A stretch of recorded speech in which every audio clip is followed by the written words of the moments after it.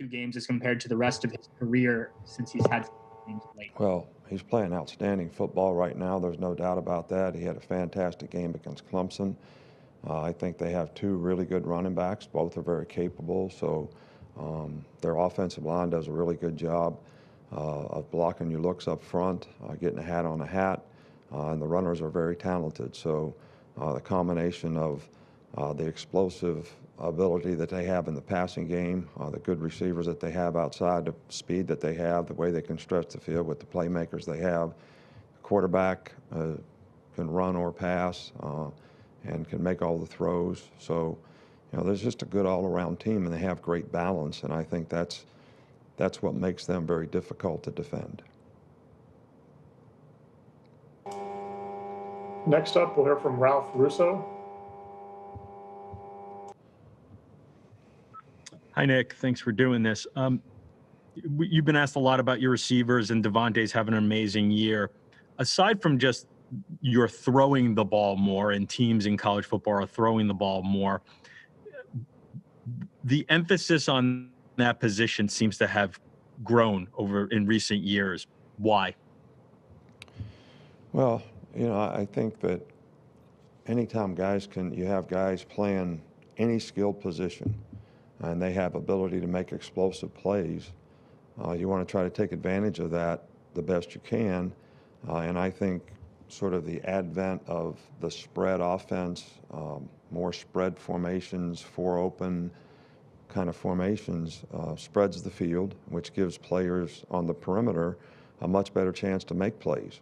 And you have to tackle well in space. You got to get these guys on the ground, even if they catch short passes and turn them into long runs.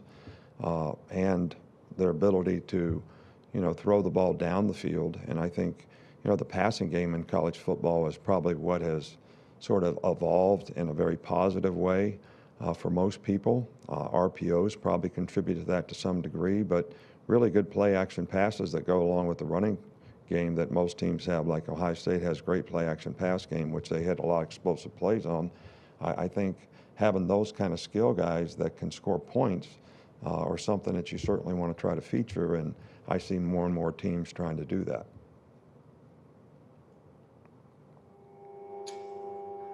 Next up, we'll hear from Dennis Dodd. Dennis?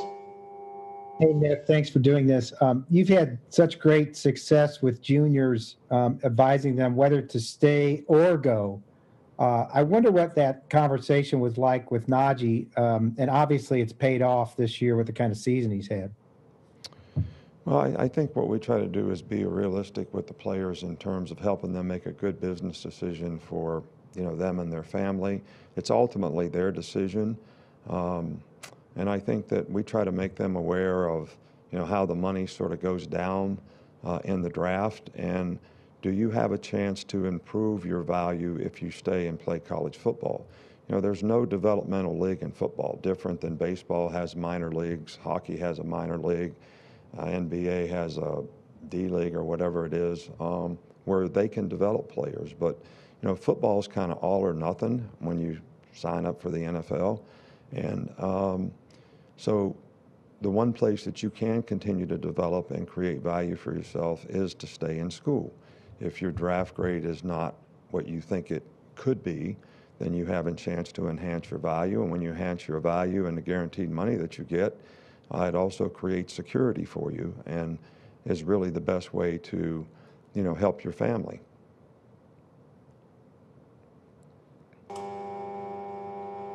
Thank you. Next up, we'll hear from Bill Rabinowitz. Hi, Nick. Uh, obviously, your offense is elite, and I know your defense has had a couple games when it gave up a lot of points. How do you view the way your defense has played? And as a defensive coach in an era of exploding offenses, how do you kind of assess? How does that make you assess or reassess how well a defense is playing? Well, I, I think that you know, consistency and performance is really, at the end of the day, what determines, you know, how well you're playing. And we have played well in some games, you know, this year. Uh, other games, not as good as we'd like. Uh, and as coaches, we need to do a better job of putting our players in a better position so they have a chance to be successful. Uh, we've played some I think we played four top 10 teams this year and some very explosive offensive teams and uh, been very challenged uh, with, you know, four out of five new starters in the secondary. And those guys have improved dramatically. And I think we need to continue as a team on defense to focus on things that we can improve on so that we can play with a little more consistency game in and game out.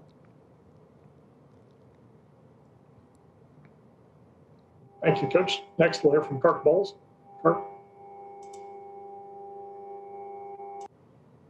Yeah, Nick, uh, is there anything about Steve Sarkisian that separates him from other offensive coordinators that you've had?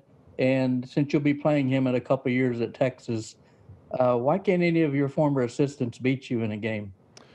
Well, I think that's probably only a matter of time. Um, so, you know, we've had a lot of great coaches here, and they've done a great job for us, and we're always happy to see them, um, you know, get opportunities. Uh, that's what I think they work hard for. Uh, when you're an assistant, whether you're an assistant to be a coordinator, a coordinator to become a head coach, and you know, Sark has done a marvelous job here. He's uh, very well organized. He works well with all the people uh, in the organization, players and coaches alike. Um, he's a good play caller on game day. He does a really good job of preparing the players game plan wise for, you know, each and every game. And uh, he, he's just done a great job. And he's uh, been a real asset to our organization. And, you know, I think he'll be very successful uh, as a head coach. So, uh, and he's taken over a, a good program. So uh, it's going to be challenging for anybody that plays them in the future, I think. Thank you. Next, we'll hear from Charlie Potter. Charlie?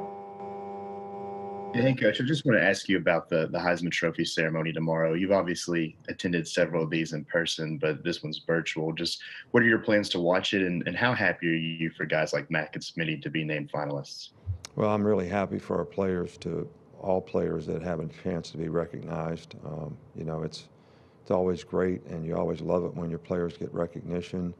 Um, but you know, there's a lot of players on our team that have done a great job all year that are not going to receive recognition, and uh, I think that's a lesson in life because sometimes you do great things in life and you don't get recognized for it, but you have to kind of satisfy yourself in knowing that you did your best to be the best you could be. And I certainly feel like the guys that are up for awards uh, and have an opportunity, hopefully, to win some of these awards, uh, have done just that. And hopefully, they'll get rewarded for it. Um, you know, internally, we kind of keep our plans, you know, to ourselves in terms of what we're going to do. And um, I'm going to talk to the players about it today. Thank you. Next up, we'll hear from Michael Granada. Uh, yeah, uh, just Nick, what what you guys learn from that 2018 title game with the coaching distractions surrounding uh, departures, and how do you think that will help this week with Steve Sarkisian? Well, you know, I think we've had several of these situations uh, where we've had guys playing in a national championship game and guys are getting head coaching jobs someplace else. And uh, I think it's up to each individual. You know, I went through it when I became the head coach at Michigan State, and I was the defensive coordinator of the Cleveland Browns with Bill Belichick. And we had like five or six games left to play in the season and had a chance to get in the playoffs, which we did, and went too deep in the playoffs, won the first game, lost the second.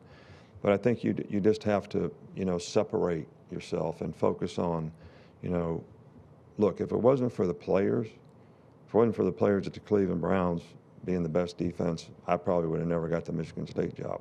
So you kind of owe it to the players to give your best, uh, to do your best to help them get prepared for the game so they can play well in the game.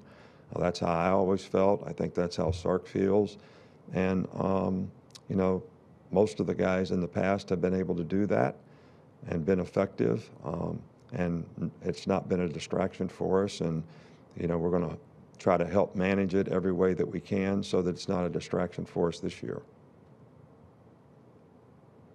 Thank you. Next up, we'll hear from Dan Hope.